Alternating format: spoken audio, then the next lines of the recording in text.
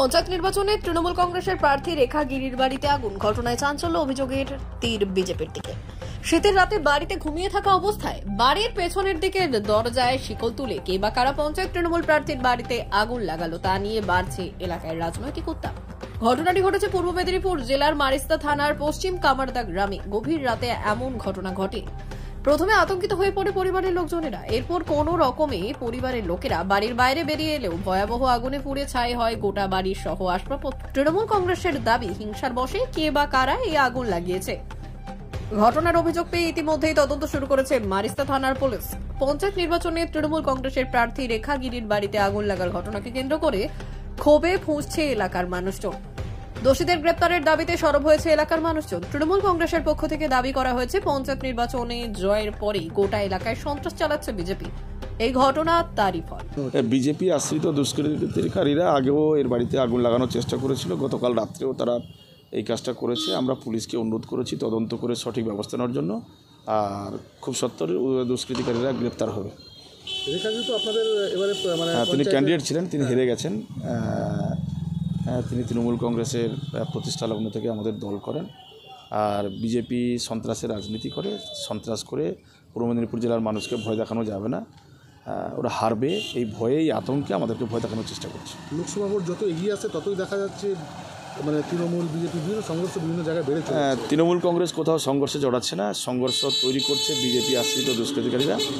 তারা সংঘর্ষের পরিবেশ তৈরি করে, সন্ত্রাসের পরিবেশ তৈরি করে ভোটে জিততে চাইবে। কিন্তু মানুষ তাদের দিকে নেই, তারা ভয় পেয়েছে বলে এই কাজ করতে বাধ্য হচ্ছে।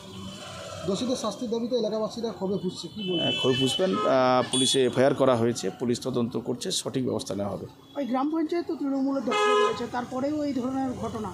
সন্ত্রাস তৃণমূল, অথচ আহ, যারা সন্ত্রাসবাদী যারা সন্ত্রাসের কাজ করে রাতের অন্ধকারে তারা এসব করবেই। আহ, এটা তাদের জন্মজাত অধিকারের মধ্যে পড়ে যাচ্ছে এক প্রকার। আহ, ভারতীয় জনতা পার্টিতে যে সমস্ত সিপিএমের নেতারা গেছে তারা দেখবেন বামফ্রন্টের চৌত্রিশ বছর শাসনকালে তারাই আমাদেরকে ভয় দেখাতো ডানপন্থী মানুষদের ঘরবাড়ি পড়াতো মাছ লুট করতো।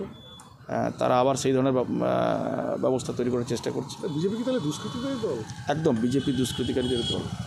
যদিও তৃণমূল কংগ্রেসের এই অভিযোগ সম্পূর্ণ অস্বীকার করেছে বিজেপি। বিজেপির দাবি এই ধরনের ঘটনায় কোনোভাবেই যুক্ত নয় বিজেপির কোনো নেতা বা কর্মী। তৃণমূলের হাতেই তৃণমূল কর্মীরা নিরাপদ নন। এর আগে আমরা বহুবার দেখেছি, নিজেদের মধ্যে এলাকা দখলের লড়াই, ক্ষমতা দখলের লড়াই, কাটমানি খাওয়ার লড়াই, আর সেই লড়াইয়ে তৃণমূলের নেতারাই তাদের কর্মীদের উপরে ব্যাপকভাবে আক্রমণ করছেন, ব্যাপকভাবে তাদের ঘরবাড়ি জ্বালিয়ে দিচ্ছেন, তাদের বিভিন্ন ধরনের জিনিসপত্র লুট করছেন, আমরা প্রত্যক্ষ করেছি। আর ঠিক একই ঘটনা মারিসদার পশ্চিম কামারদা গ্রামে তাদেরই দলের কর্মী, সেই কর্মী অন্যায়ের বিরুদ্ধে প্রতিবাদ করেছিলেন, কাটমানি খোরদের বিরুদ্ধে প্রতিবাদ করেছিলেন, চোরদের বিরুদ্ধে প্রতিবাদ করেছিলেন মিটিংয়ে, আর তার ঘরের আগুন ধরানো হচ্ছে। এ সারা বাংলার পরিস্থিতি এই তৈরি হয়েছে, আর সেই পরিস্থিতিকে তাদের নিজেদের দলের ব্যর্থতা ঢাকার জন্য আজকে বিজেপির ঘাড়ে দোষ চাপাচ্ছেন। ওদের লজ্জা লাগা উচিত। বিজেপি গণতন্ত্রে বিশ্বাস করে বিজেপি পশ্চিম বাংলায় গণতন্ত্র প্রতিষ্ঠার জন্য নিরন্তর লড়াই করছে। আর আপনাদের এই নাটক, আপনাদের এই ছল চাতুরি, আপনাদের এই প্রহসন মানুষ প্রত্যক্ষ করেছে। আপনাদের দলের কর্মীরাই আজকে আপনাদের বিরুদ্ধে প্রতিবাদের আওয়াজ তুলছে। সেই সমস্ত কর্মীরা যারা অন্যায়ের বিরুদ্ধে প্রতিবাদের আওয়াজ তুলছে, আর তাদের উপরে আক্রমণ করছেন তৃণমূলের নেতারা, স্থানীয় নেতারা। আর এই ঘটনা পুরোপুরি তৃণমূলের গোষ্ঠীদ্বন্দ্বের বহিঃপ্রকাশ এবং তাদের এলাকা দখল, ক্ষমতা দখল, কাটমানি খাওয়ার লড়াইয়ের মধ্যে রয়েছে।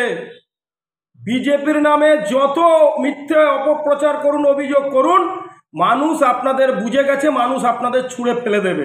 তার জন্য প্রস্তুত হচ্ছে। জনবিচ্ছিন্ন, উদ্ভ্রান্ত তৃণমূল কংগ্রেসের প্রলাপ এসব। কারণ গোষ্ঠীদ্বন্দ্বকে চাপা দেওয়ার জন্য মুসল পর্ব শুরু হওয়া তৃণমূল কংগ্রেসের।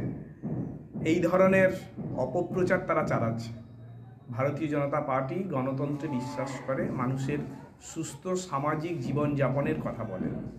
আর আমি তাদেরকে চ্যালেঞ্জ করছি যে এই অপরাধের সঙ্গে যারা যুক্ত আছে, তাদের সঠিক তদন্তের মধ্য দিয়ে গ্রেপ্তার করুক। তাহলেই বোঝা যাবে যে এই ঘটনার সঙ্গে কারা যুক্ত আছে। আসলে পারিবারিক ঘটনাকে, নিজেদের গোষ্ঠীদ্বন্দ্বকে বিজেপির কাজ বলে চাপানোর চেষ্টার মধ্য দিয়েই তারা আসলে প্রমাণ করে ছেড়েছেন ওই এলাকায় তৃণমূল কংগ্রেসের পায়ের তলায় কোনো মাটি নেই।